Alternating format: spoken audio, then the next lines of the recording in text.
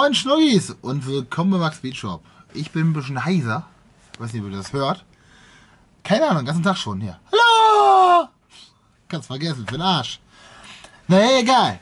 Wir machen trotzdem weiter. Wisst ihr, wie das ist. Heute kommt wieder ein pures Content-Video für euch.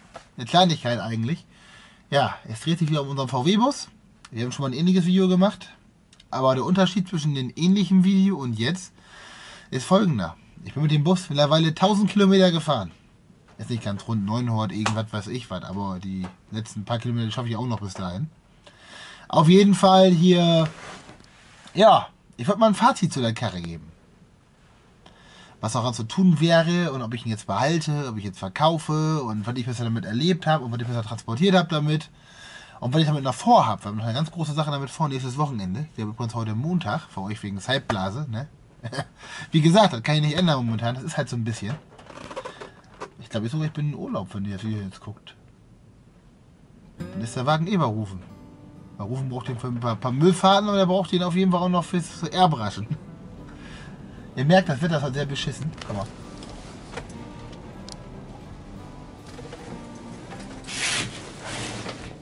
Ganze Auto fegt hier weg. Deswegen kann ich nur bedingt draußen finden. Ich probiere es mal aus, mal gucken. Ach du Scheiße. Ich habe so eine windempfindliche Kamera. Naja, ich spule das mal hier drin ab und dann machen wir vielleicht noch ein paar Kleinigkeiten außen, die ich meine, bei der Kiste. Ja. Also, 1000 Kilometer Fazit. Bei mir ist das so, bevor ich groß Geld in ein Auto reinstecke, ihr wisst ja, bin ich ja so ein Ding für sich, nach Gurkenprinzip immer, ähm, muss ich erstmal eine Sache bewähren.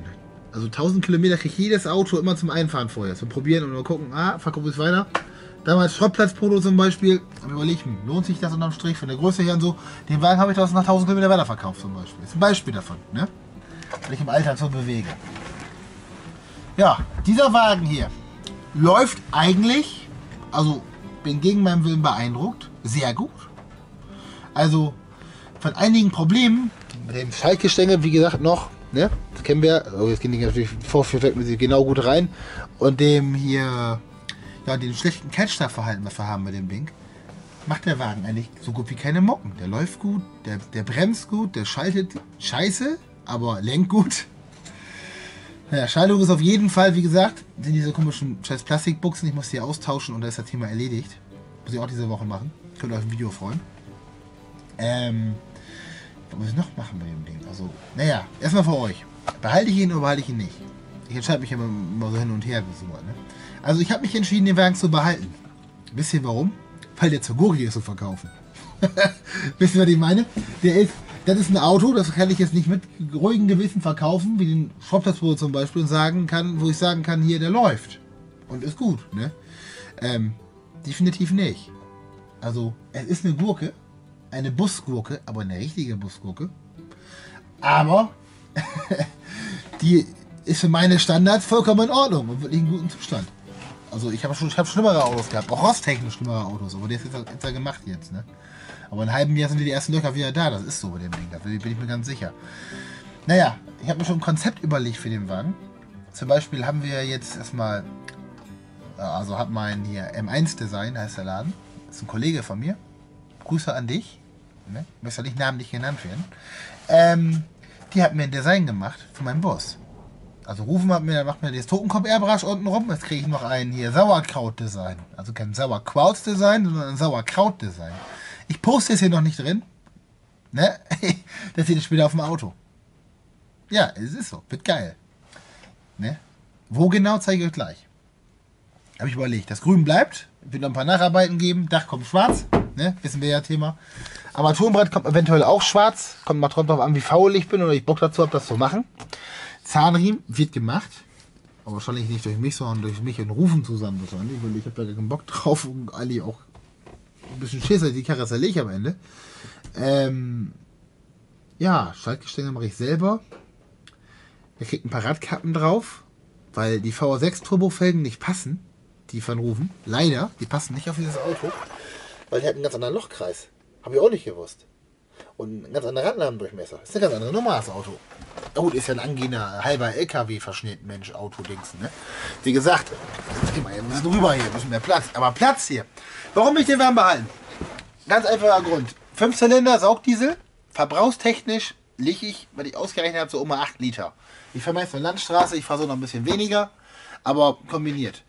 Der erste Anhängertest, der kommt am Wochenende. Da holen wir einen T3 wahrscheinlich ab, Klutzen und ich, weil Klutzen hat sich einen T3 getauscht gegen seine Mopeds. Dann kommen die Mopeds hier hinten rein, Trailer hinten dran. Und hier, da fahren wir runter, einen T3 holen. Auf den Trailer. Das funktioniert. Ich habe gedacht, okay, ich mach's mit, ist ein Kumpel von mir, machen wir als Freundschaftsdienst und hilft er mir irgendwann mal wieder, weißt du. Und daran sehe ich, ob der Wagen sich wirklich nochmal lohnt oder nicht lohnt. Wenn er danach in die extrem verkacken sollte, dann will ich mir überlegen, ob ich ihn doch verkaufe. Aber ich glaube nicht. Also was ich bisher gemerkt habe von dem Wagen, bin ich eigentlich ganz zufrieden damit. Übrigens jetzt die Schaltgestänge. Ich habe das noch nie richtig gezeigt. Das ist dieses, der Schaltarm. Dann haben wir hier unten noch diese Kugeln. Die sind einfach noch aufgeschraubt und reingesteckt und reingepresst. Ich will behaupten, ich muss nicht alle tauschen, weil das ist eine scheiß Siffikus-Arbeit. Wird ja interessant werden auf jeden Fall. Naja, gut. Jetzt kommen wir nicht drum rum, wir müssen nach außen ich habe mein, mein, Konzept weitergedacht. Also das mit der Schultafel wird wohl nicht mal kommen, wenn ich mal ausgedacht habe. Außerdem war das in der anderen Ecke von dem Auto. Alter, ey, fehlt mir so die Tür aus der Hand wen kann ich gerade nichts. Das ist halt der Scheiß mit dem Wetter hier. Hier kommt mein Sauerkrautaufkleber hin, auf der Größe. Komplett hier weg. Ne? Das hier wird schwarz, das wird schwarz hinterlegt, genau wie da. Hier kommt eine DDR-Fahne hin, von innen. Meine DDR-Marinefahne, die ich noch habe, aus dem Filmpaket, die kommt da rein. Alter, ey. Da weiß auch jeder, wessen Auto das ist. Das muss ja auch erkennbar sein. Und dann kommt er hier auch diesen Sauerkrautaufkleber. Von das Motorhaube kriegt er einen schwarzen Sauerkrautaufkleber. Und dann kriegt er wahrscheinlich hier einen Schriftzug Max Beachshop at YouTube oder sowas. So als Gurkenbus, dass er auch wirklich erkennbar ist. Für euch, wenn ihr mal habt, ne? Ich mal das Auto rein. Das ist ein Arsch hier. Äh, aber ich geh hinten rein. Ich kenn das, Ha! Platz ist ja genug drin. Naja, das ist der Plan. Innenraumtechnisch lasse ich ihn eigentlich so. Die Gurke klebt mittlerweile hier, weil ich fand die war so im Einstieg ganz lustig. Vielleicht lackiere ich ihn innen nochmal schwarz aus. Aber ich finde, das stört mich nicht. Da kommt noch eine Plastikdingsen hin. Christian hat einfach noch was liegen, hat er erzählt. Kann wir es eine besorgen vielleicht? Oder Udo hat vielleicht was für den Wagen. Wir haben Glück. Da geht es jetzt auch die Tage hin. Oder geht es da jetzt schon hin? Oder war schon da? Eins von beiden, weil das ist heute der Plan. Mein, mein eigener Plan. Ähm, die Verkleidung kommt, zur, wieder, kommt wieder daran. Äh, Rostarbeiten werde ich an dem Wagen nicht machen, erst wenn es nötig ist und irgendwas durchgammelt. Aber ihr seht ja, der ist ja. Ja, Flächentechnik ist ja ganz gut, ne? Der ist richtig kernig, der Wagen. Und hier haben sie mal ganz schlecht gebraten. Da am Rand haben sie mal gebraten, aber scheißegal, Jungs. Wie gesagt. Auf jeden Fall, hoffentlich bewährt er sich. Hoffentlich fällt er mir nicht auseinander. Hoffentlich. Ach, Hoffentlich belohnt er mich für die Arbeit, die ich da reingesteckt habe, die Blecharbeit. Und da kommt hier noch ein Sauerkraut-Schriftzug hin. Spezial. Ihr seht ihn. Wie gesagt, ich will auch nicht spoilern. Aktuell fängt übrigens ohne Kennzeichen rum. Ne? Kennzeichenhalter ist im Arsch. Kennzeichen klemmt jetzt hier. Und das geht nicht. Ach, scheiße, ey. Oh, es wird so nass hier. Ja, warum ich diese Videos mache, erstmal zu eurer Information zu den Autos und zweitens, weil ich halt jetzt einen Urlaub fliege und halt dann, dass ihr jeden Tag ein Video kriegt, auch ein vernünftiges. Und ich denke mal, der Bulli interessiert einige von euch. Ach so, ich kann ja mir die Pfanne sogar zeigen, die ich habe. Warte. Ja. Hier ist übrigens meine Pfandkiste. Hier, die Fahne will ich hinten in die Heckscheibe hängen. Das ist der Plan wenigstens. Wir hängen noch ein paar mehr Fahnen hier rein. Wir hängen den ganzen Wagen innen noch aus. Weil der soll sich auf jeden Fall, muss der, muss der Wagen einmalig sein. Dieses Auto muss einen Kilometer weit erkennen, sonst würde das nicht zu mir passen. Also sollen wir mal laufen.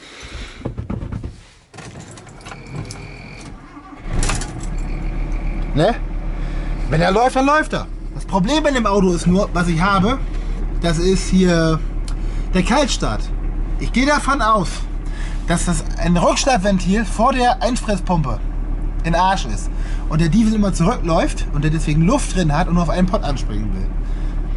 Ich tippe nicht auf die Glühkerzen, weil das Problem ist nämlich hier, äh, bei kaltem Wetter springt der manchmal so besser an wie bei warmem Wetter. Heute sprang er richtig scheiße an bei 10 Grad und heute Morgen bei 0 Grad sprang er erst, rein auf ersten Schlag an. Deswegen, das ist so ein bisschen, keine Ahnung, ne? Ja, was kommt noch? Diese Lampe wird durch eine ordentliche ersetzt. Hier kommen noch LED-Lampen rein. Sehen wir es dran. Mal einen Spiegel. Familientechnisch habt ihr gesehen bei der Ausflug von meiner Frau mit mir zum hier Indoor-Vergnügungspark-Verschnitt Familientechnisch ist der super. Passen wir zu dritt Ass rein rein. Das heißt, ich kann auch einen Transport machen mit einem Kollegen, ein Auto holen oder irgendwas. Und kann dann einen Kollegen hier hinsetzen und hier Hanna. Ne? Das passt super. Das ist ein astreines Ding. Aber deswegen, deswegen habe ich mich dafür entschieden. Und ich finde den Motor halt geil. Ne? Ich, mag, ich mag den Fünfzylinder. Schau das Ding mal an, ohne Scheiß. Der klingt richtig geil.